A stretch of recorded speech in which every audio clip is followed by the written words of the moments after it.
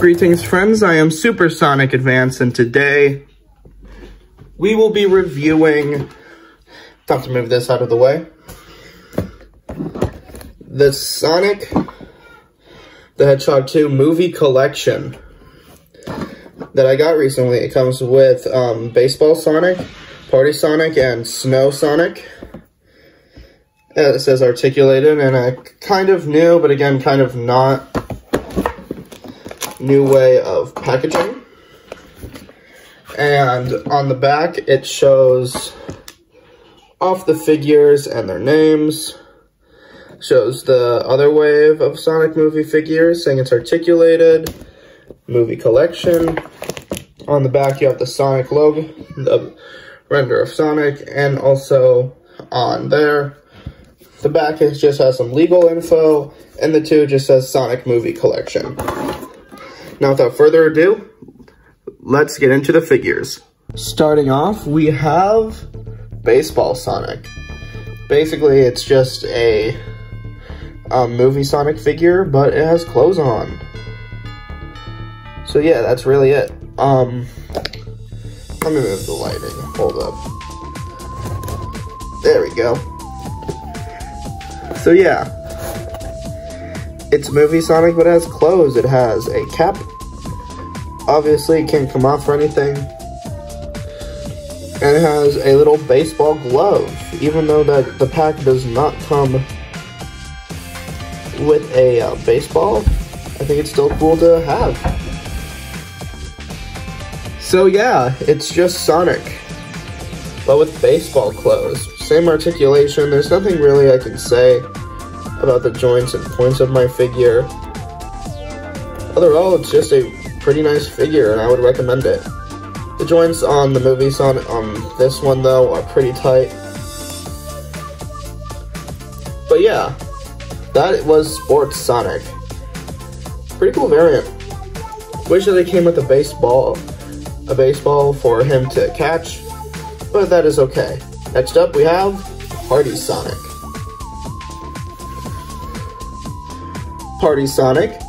This is from um, in the movie, obviously, where for those who have not seen it, just so you know, spoilers, but he, okay, this isn't a spoiler. I feel like everybody freaking knows this, but he wears this in when Tom and Maddie are out on, in Hawaii, when he's out partying.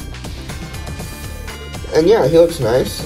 Again, it's just Sonic, but with more, but with clothes. The towel is made of a little soft rubber material, so don't mess with that so much. Same with the little tie. The sunglasses are really tight with the figure, which is a good thing in my opinion has the gold chain.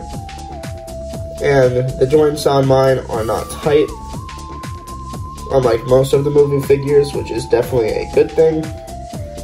So yeah, um, he is from the, like, early, early in the movie when he is, um,